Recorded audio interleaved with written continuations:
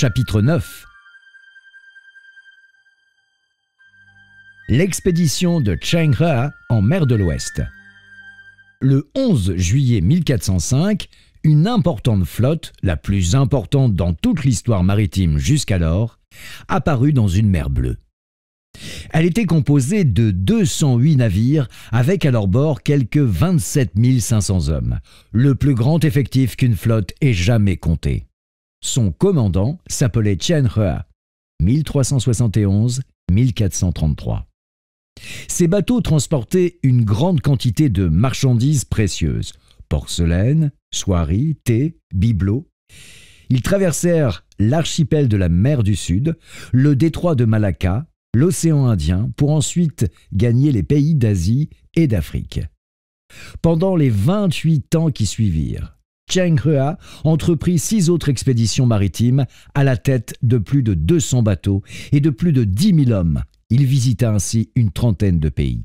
Il traversa l'Asie occidentale, atteignit l'Afrique, la Mecque, l'Arabie saoudite et le port de Beira au Mozambique. Chen Hua, né dans une famille musulmane chinoise, adopta plus tard le bouddhisme et le culte de Mahazu, la déesse chinoise protectrice des marins. On disait que c'était un homme d'une belle prestance, intelligent et connaisseur en matière d'art et de tactique militaire, ce qui lui valut d'être un temps garde du corps de l'empereur Yongle, 1403-1424, empereur des Ming. Le règne de Yongle marqua l'histoire par deux décisions majeures. Le choix de Beijing comme capitale impériale et l'envoi de Cheng Hua en expédition vers les pays voisins de la Chine en mer du Sud et de l'Ouest. Une technique de navigation avancée. À partir du XVe siècle, la conquête maritime de l'humanité s'accélérait. En 1492, Christophe Colomb traversa l'océan Atlantique au commandement d'une flotte espagnole et découvrit l'Amérique. En 1497, Vasco de Gama, la tête d'une flotte portugaise, passa le cap de Bonne-Espérance et atteignit Calicut en 1498 sur la côte ouest de l'Inde. En 1522, Ferdinand de Magellan boucla un tour du monde océanique avec une flotte espagnole. Les voyages de Cheng Hua sont encore antérieurs à ces exploits marquants de l'histoire de la navigation. Il disposait ainsi de moyens plus importants puisqu'il partait, à chaque expédition, avec une flotte principale d'au moins 62 luxueux navires de grande taille, accompagnés d'une centaine de bateaux mixtes plus petits. Cheng Hua disposait de plus de 20 000 hommes. En ce qui concerne la dimension, les techniques navales et l'organisation, la flotte de Hua n'avait pas son pareil dans le monde d'alors. De même pour ses équipements, qui témoignent d'une technologie très avancée pour l'époque, entre le XIVe siècle et le XVe siècle. La construction des navires révèle aussi le niveau technologique atteint par la Chine il y a 600 ans. Les grands bateaux, de 150 mètres de long, 60 mètres de large et 12 mètres de haut, fabriqués pour les expéditions de Hua, étaient les plus volumineux du monde. Ils comportaient quatre étages, avec 9000 mètres carrés de pont, une fois et demie la superficie d'un terrain de football. Ils pouvaient transporter jusqu'à 1000 hommes et 1000 tonnes de marchandises. Leurs neuf mâts portaient jusqu'à douze voiles et il fallait près de 300 personnes pour soulever leur ancre. Encore aujourd'hui, la construction de tels navires serait considérée comme un énorme chantier. Aspiration à la paix. Les expéditions de Cheng He, ordonnées par l'empereur Yongle, avaient pour but de faire connaître l'empire chinois et en même temps d'établir des relations amicales avec les pays voisins par-delà les mers. La Chine visait à instaurer des relations diplomatiques pacifistes avec tous, proches ou lointains, et à partager les bienfaits que la paix leur apporterait.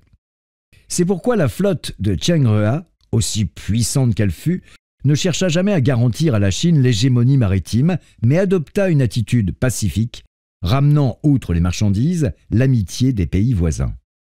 Une biographie de Chen Hua, découverte dans les années 30 du siècle dernier, raconte que l'empereur Yongle avait, avant son départ en expédition, dicté ses principes en matière de relations internationales.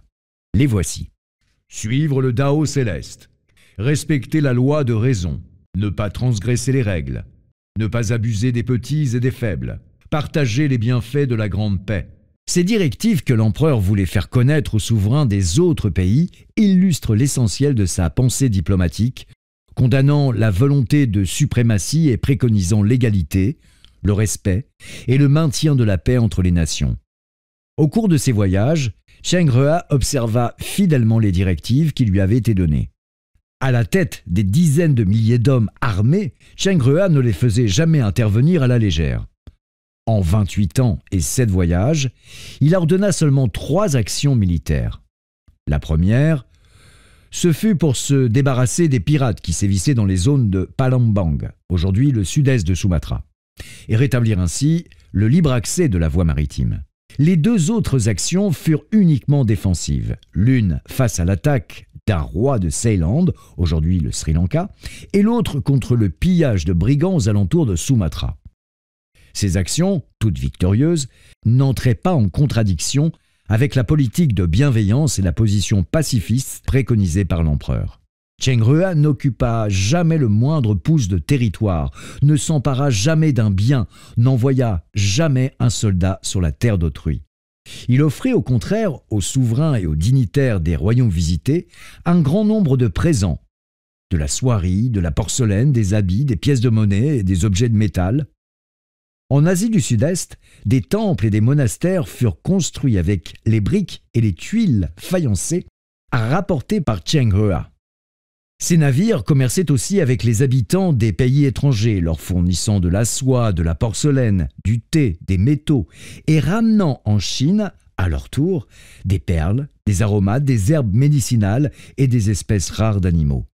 Le troc se déroulait sur la base de l'équité et du respect.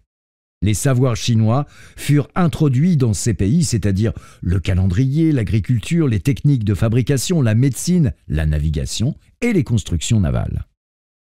Au cours de ces voyages, Cheng Hua ramenait souvent en Chine les ambassadeurs ou les représentants de différents pays qui désiraient s'y rendre. En septembre 1422, ils étaient quelques 1200 à bord de ces bateaux quatre souverains vinrent en personne. Trois d'entre eux, le roi de Sulu, aujourd'hui l'archipel Sulu des Philippines, le roi de Bornéo, aujourd'hui l'île de Kalimantan, et le roi de Malalang, aujourd'hui l'île de Mandanao Philippines. Tous vécurent longtemps en Chine où ils restèrent jusqu'à leur mort, victimes de maladies. D'ailleurs, lors du décès du roi de Bornéo, l'empereur Yonglea suspendu pendant trois jours ses audiences à la cour en signe de deuil. Aujourd'hui, certains pays d'Asie du Sud-Est gardent encore un bon souvenir des visites de Cheng Rua.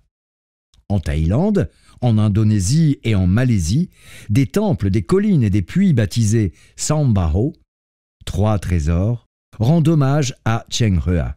En 2004, lors de la célébration du 30e anniversaire de l'établissement des relations diplomatiques entre la Malaisie et la Chine, un ballet d'opéra, Ambaoli, fut représenté au théâtre du Palais impérial de Kuala Lumpur. Ce spectacle, donné en deux langues, le malais et le chinois, est une adaptation de l'ouvrage classique intitulé Les Annales des Malais, qui relate le mariage de la princesse chinoise Han Baoli, fille de l'empereur Yongle, avec le sultan Mansour Shah de Malacca. C'est Cheng Rua qui, à bord de ses navires, escorta la princesse et ses 500 serviteurs jusqu'à Malacca. Cette représentation dit combien le peuple malais reste attaché au souvenir du navigateur chinois.